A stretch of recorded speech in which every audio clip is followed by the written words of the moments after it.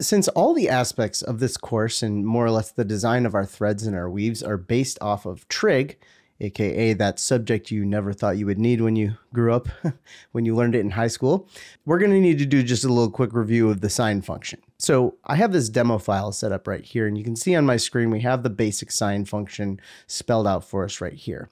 We're going to basically be taking a curve and offsetting it in y by this amount on the right hand side here. So this is our function y of x so as we move through the x position, we're going to be offsetting in y.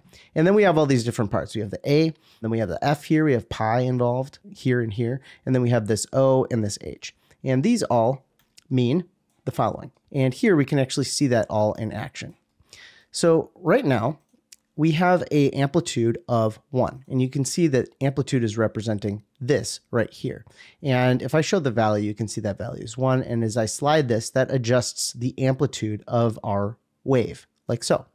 The next one is the frequency. Now, 2 pi times the frequency, this comes from the unit circle and, you know, the fact that we're working in radians and stuff like that. Don't really need to know about it other than the fact that when we have a frequency of 1, that means that it's going to go through one whole cycle for every one unit in x. So if I crank this up to 2, you can see that we're doing two whole cycles for every one unit in x.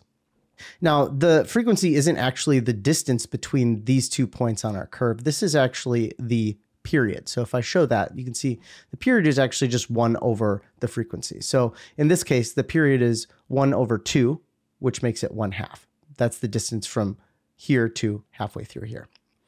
And so as we adjust this slider, you can see that it's adjusting our frequency and really how tight this wave is to begin with.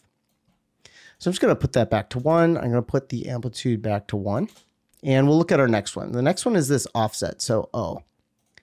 If I turn on the guide for that and start to crank this offset, you can see that we're moving this curve left and right, like so.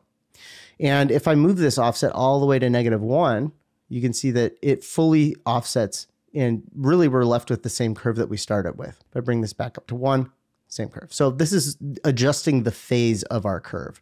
And since we're multiplying by 2 pi, that goes all the way through one cycle. But it just makes it easier for us to understand in terms of graph units that when we offset this by 1, we're actually going to be offsetting it by one full cycle. The next one is h. And h, we're not going to really be using this too much, but h is a vertical offset. So if we crank this value up and down, you can see we're just moving the curve above and below this main x-axis right here.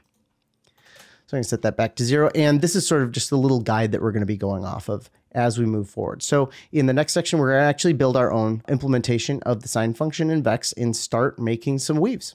Thank you for checking out the free preview lesson to Legendary Threads. If you want to access to the full course, head over to mfxlabs.com or click the link in the description.